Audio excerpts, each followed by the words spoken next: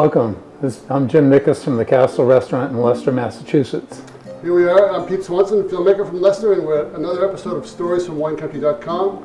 What do we got this week? Peter, we um, have kind of a, an interesting story. It's you know one that I've actually even forgotten, and that does happen a lot at my age. But uh, um, in setting up a uh, Portuguese wine tasting that I have coming in the next couple of weeks, I, um, this story just popped right back into my head, and it is kind of an interesting story because it predates much of what we've been even talking about. Because this is um, in the very early 70s.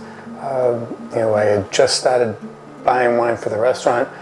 Uh, the wine kind of craze had not even taken over yet. Um, so it was uh, right at the very, very beginning. And um, restaurant would do a, an awful lot of weddings. And in those days, people weren't necessarily interested in really fine wine. Um, it was more kind of generic. And if you think back, if you're old enough, what really made Portugal sing was Lancers Rosé and Mateus. Um, those were those were the two big things coming out of Portugal. The rest of the winemaking was old world and didn't appeal to uh, a great deal of people. Uh, port was a different story, but we didn't really delve into port uh, significantly. Um, there was a certain click, but not overall. Most of the port went directly to England uh, because they're English houses. So with that kind of um, you know basis, uh, my family used to sell a lot of rosé for weddings. Uh, we uh, were invited to go to Portugal. We toured some vineyards. The one that we used an awful lot was a wine very similar to Mateus called Morabasto. Beautiful castle, beautiful property. Uh, and actually the wine was quite good. Um, uh, and they invited us to, uh, to, you know, to tour and, and, uh, and see their vineyards and taste their wines and, because they had more than just that, that simple wine. Um, so we did. Uh, we spent, and it was my, my mother, my father, myself. I was still in college, young kid, you know, 20, 19, no, 20, 21, somewhere in that, that area. Uh, and um, it was great fun, uh, an awful lot of, uh, of consumption, but uh, it was great fun. This was pretty much central and southern Portugal. When we moved to the north to visit Morabasto. It was, well, the restaurant was actually on winter hours then, so we weren't uh, open all through the, uh, the, uh, the week. Um, it, we are now, but uh, at that point in time we were not. So, um, you know, it was cold. Northern Portugal is, is much like our, our temperate climate. So um, they opened up a, a restaurant downtown in in, uh, in Oporto, and it was just a gorgeous little restaurant, but no heat. So they bring in big space heaters around the table, and I can remember, you know, a, um, one of the chefs whipping up a concoction, um, a sauce for one of the dishes, and the rhythmic beat of whisk to uh, to bowl was almost, you know, a, a trance. Um, and I'm this we're talking 40 plus years ago. I can still remember that. That it was like the Rhythm Devils, boom, boom, boom. Uh, it was. It. Um, we had a fantastic dinner. We tasted some wine. We went back to the Morabasto Castle, and the family wheels the cart into uh, to the library, and you know there's a series of ports and, and nuts and dried fruit, and, and um, so we're tasting a few of the ports, and and um, you know, being somewhat of a pain in the butt, I, I looked under the car and I said, what's that? And it happened to be an 1898 um, Smith Woodhouse uh, vintage port.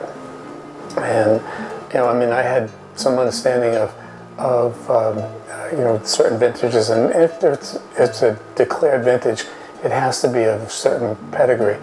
Uh, but I had never seen anything that old. And they were just beaming with pride. They didn't own it, but it was their heritage.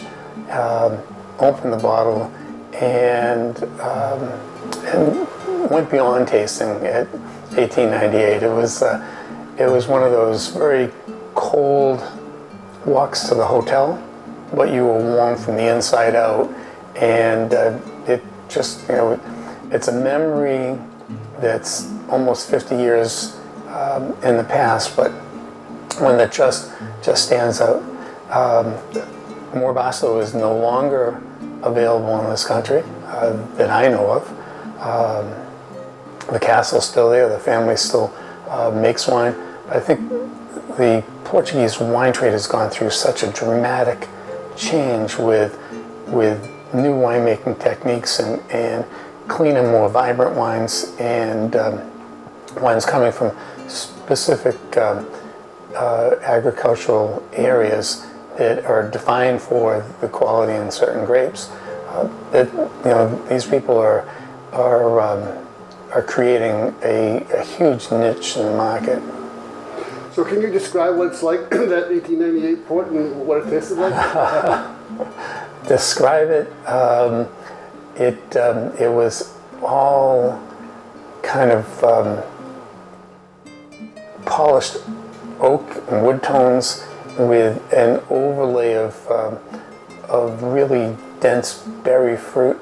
Um, it had started to lose some of its uh, its color and its uh, intensity because you know it really was uh, at that point 70 plus years old. But poor, well kept will go for an awful long time. Um, but yes, that that kind of walnut, polished wood, um, berry intensity with a backbone of alcohol. Was it um, distinct from the other ports you were tasting Oh, that yeah, night? yeah, yeah. Because we were tasting new things. I mean, this is something from 1977, uh, which was really one of the greatest port years, um, really in history. Um, and they're just now starting to to come around, um, you know, to uh, to show their style. And we're talking, what, 23, 40 years old, um, and they're just now starting to show their style.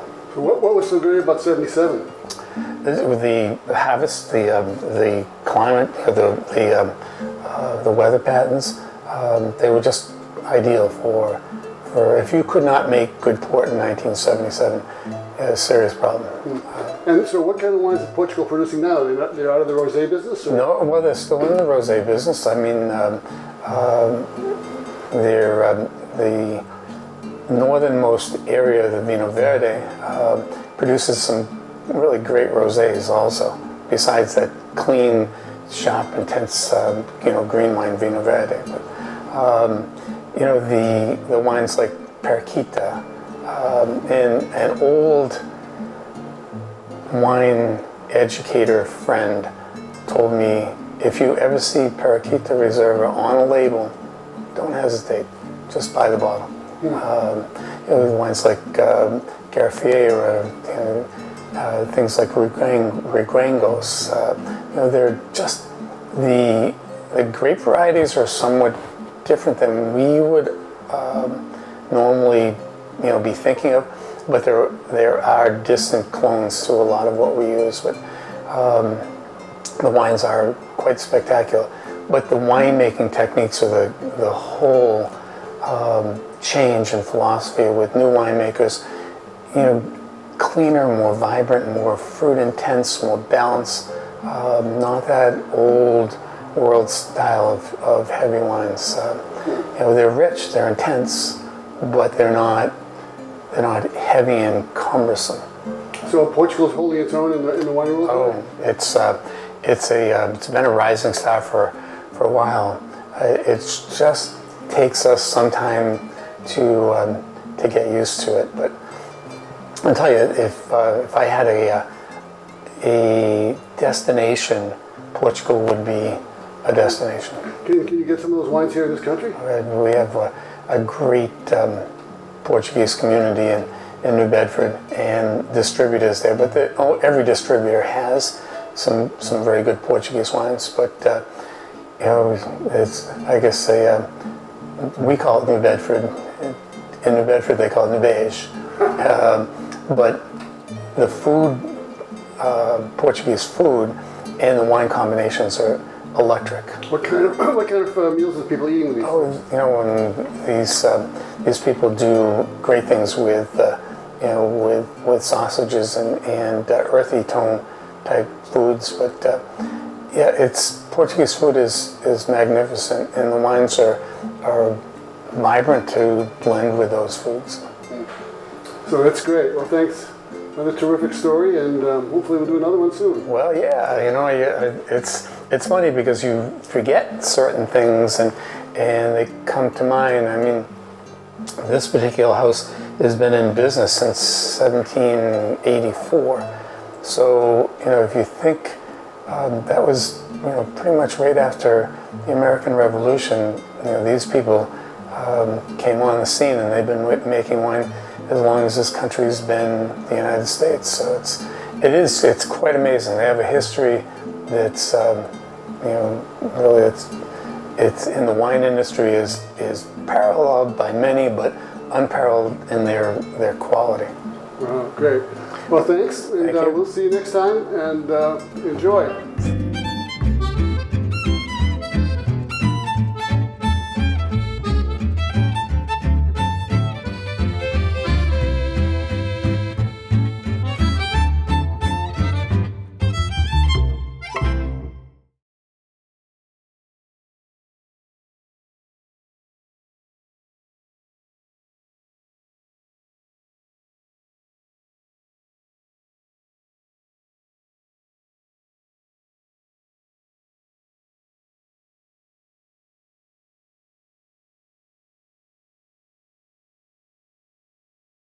Two, three.